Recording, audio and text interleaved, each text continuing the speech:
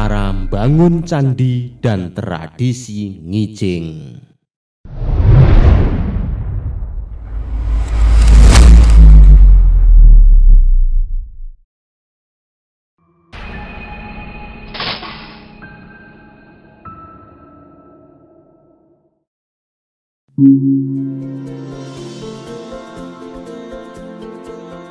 Jawa merupakan salah satu suku bangsa di Indonesia yang memiliki banyak upacara tradisional yang masih dipertahankan hingga sekarang.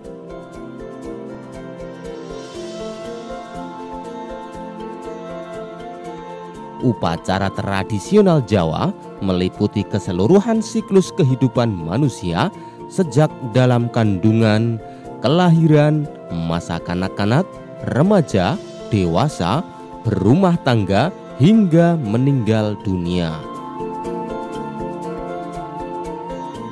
Semua diatur sedemikian rupa oleh adat yang telah disepakati sejak zaman nenek moyang Jawa dan diwariskan secara turun-temurun hingga sekarang.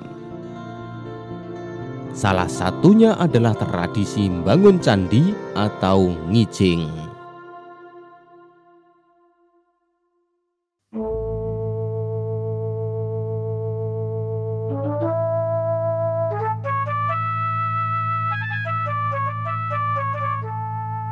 Ngijeng berasal dari kata kijing atau nisan.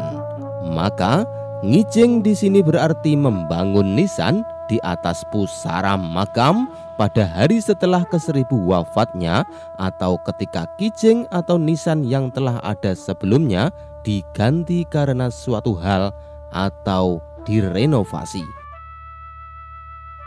Hal ini masyarakat Jawa juga menyebutnya sebagai tradisi upacara membangun candi. Candi yang dimaksud adalah kijing atau nisan.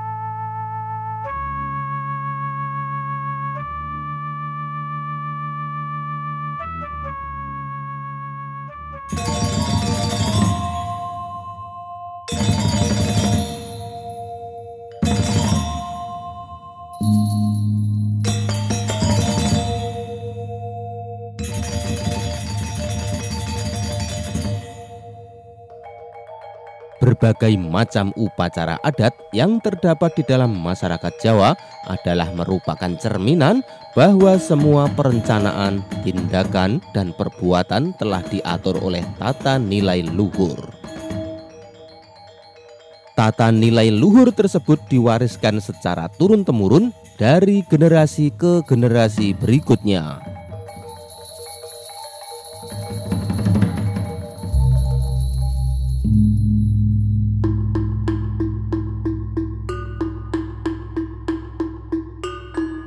Prosesi upacara membangun candi diawali dengan kirim doa dan selamatan di rumah dengan beberapa kerabat atau tetangga sebelum memasang kijing di kuburan. Hal ini merupakan urutan sederhana. Namun sebelumnya, terkadang juga digelar dengan acara yasin dan tahlil dengan diikuti banyak jamaah.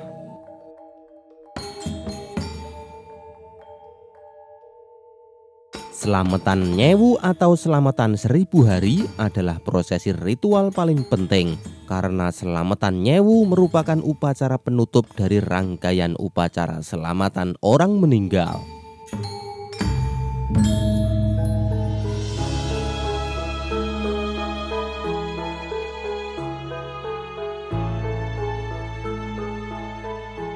Pada masyarakat Jawa, Apabila salah seorang keluarganya meninggal, maka ada serangkaian upacara yang dilaksanakan, antara lain upacara pada saat kematian atau selamatan surtanah atau geblak. Hari ketiga atau selamatan nelung dino. Hari ketujuh atau selamatan mitung dino. Hari keempat puluh atau selamatan patang puluh dino.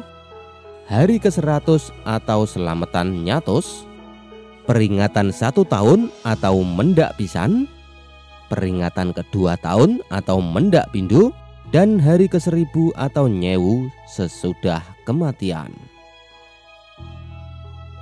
Peringatan seribu hari biasanya dibarengkan pula dengan ngijing atau memasang batu nisan.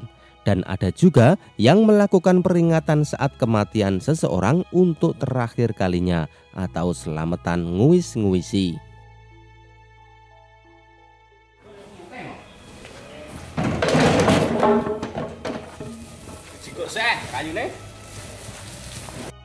Bangun candi. Bangun candi alias bangun apa asline? Bangun apa kajeng? Kijing. Kijing. Bangun kijing. Jene almarhum Mbah Nawidi. Setelah prosesi selamatan, lantas menuju ke makam untuk bersama-sama memasang kijing atau nisan.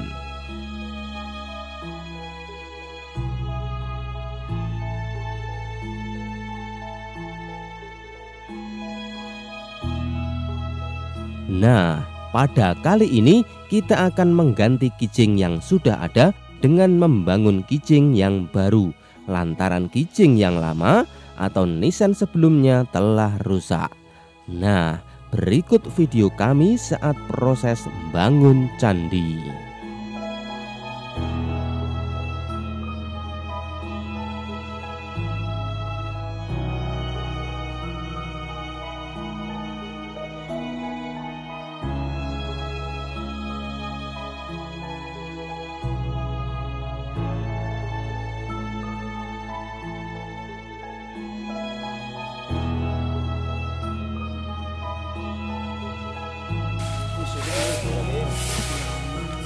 pun alhamdulillah pun Waduh, tapi gotong wong kuat kok. Mati. Tapi nek jane gak nek wis tenan. Iku jandel sik.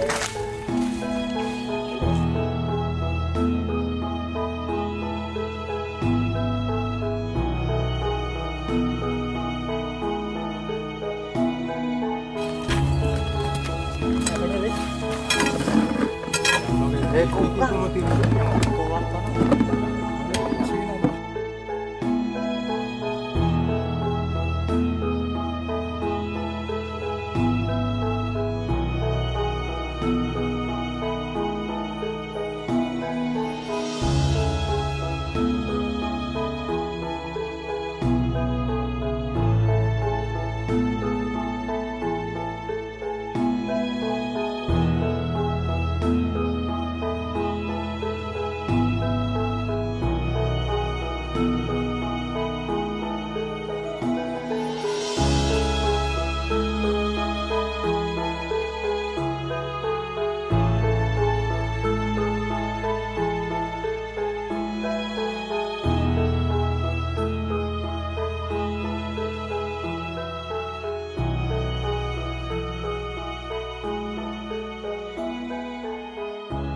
Tradisi ngijing atau membangun candi merupakan tradisi luhur yang mencerminkan motivasi dalam beragama dan motivasi mempertahankan budaya atau nguri-uri.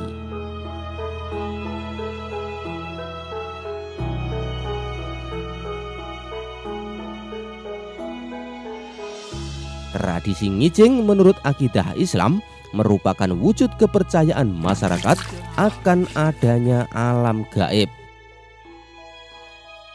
Alam gaib yang dimaksud adalah alam kubur, bahwa orang yang masih hidup masih mempunyai hubungan dengan kerabatnya yang telah meninggal dan diejawantahkan dalam bentuk selamatan sebagai wujud bakti mereka jika yang meninggal adalah orang tuanya.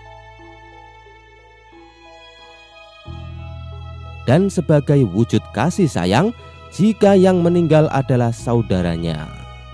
Semoga kita dapat mengambil hikmahnya.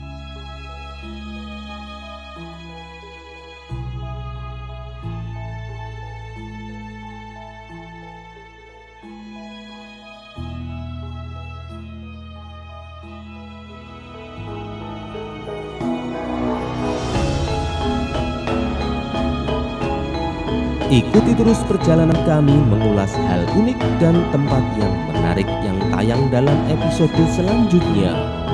Sampai jumpa.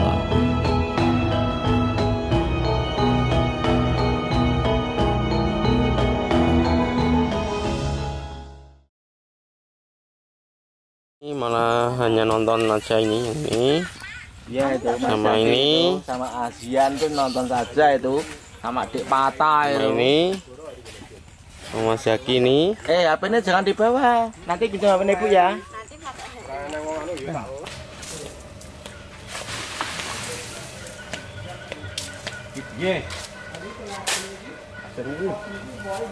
Pak Tono ganti Pak Tono. Aku mah aku. Lah lah ngomong kok komen yo. aku. Jangan komen aku.